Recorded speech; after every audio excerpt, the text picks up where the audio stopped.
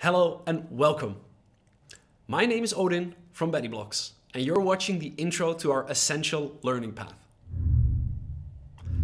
In this path, we're focusing on the basics of the platform.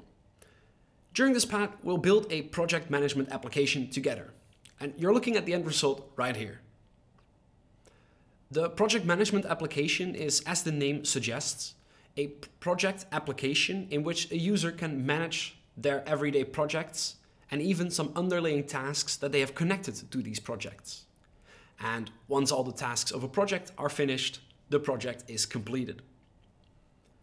The application has quite a few functionalities, such as creating, updating, deleting tasks and projects, making sure that everything is securely set behind a login, checks to make sure you don't accidentally skip any steps within your project or leave data flying around, and a bunch of other stuff. But you'll have to check that in the path to find out more about that.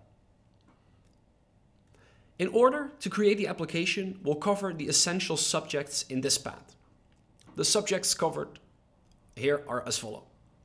We're first going to create the application in the My Bettyblocks environment. After that, we're going to dive into the design of our application to get more of an idea what we want within our app and what kind of data we would like to collect. After our design is done, we're going to dive into data modeling and we're going to set up the data model for our application. Once we have the first bits of design and the data model set up, we can make the design functional by setting up the page builder functionalities.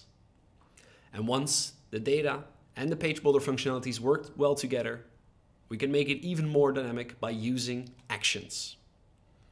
And after all of that has been done, our application is practically finished. However, we are going to set up some final touches for our application and we dive back into the My Bettyblocks environment. So the path works as follows. Before building ourselves, we're going to check out the theory behind the subject. In the theory video, I'll go over what the subject is and how it can be used and how it functions in our application. Once you know what a subject is, we're going to start building together. The building part of the course consists of demo videos. During these videos, you can simply build along with me in your own application to get the end result that I've shown earlier. At the end of the course, we also have some assignments for you. The assignments will be a test to see how well you understand the given subject and to get more familiar with Betty Blocks yourself.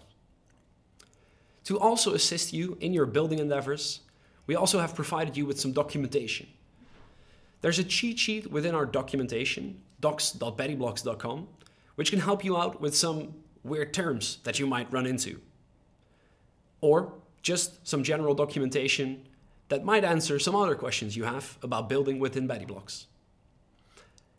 And we also have our learning environment, learning.betty.app.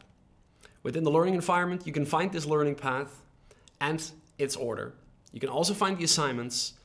And if you have the time, please leave a review here and there to let me know what you think of the pad and so that we can update the pad with all of your tips and tricks.